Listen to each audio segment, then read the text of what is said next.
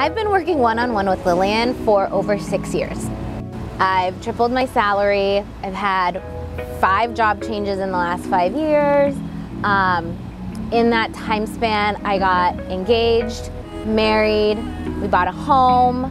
Um, I used to be a super paranoid person. I always was constantly getting sucked into a big rabbit hole, um, really all fear-based. But I think as a result of working with Lillian both one-on-one -on -one and in a group setting, it really helped me gain more confidence and more ease and not this scarcity mentality where I'm either running out of time, um, everyone's against me. I really got a chance to really stand my ground and really be the person that I am in my most authentic way. I really feel confident and at ease about my life and where I'm going with it. Lillian is this person who I'm constantly learning from, constantly laughing with, and constantly getting challenged by every time I think that I've locked it down, there's just more to her that she has to share.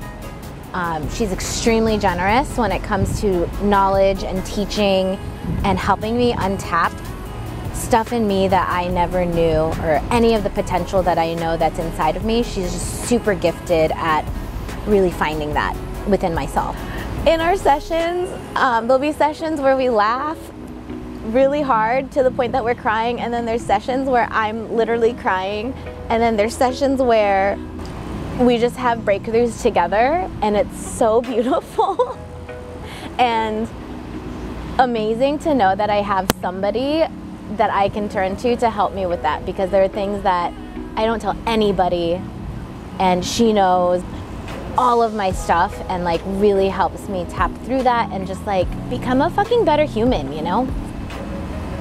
Dude, she's like so dope. she's like right there. It's so weird. um, she's literally right there.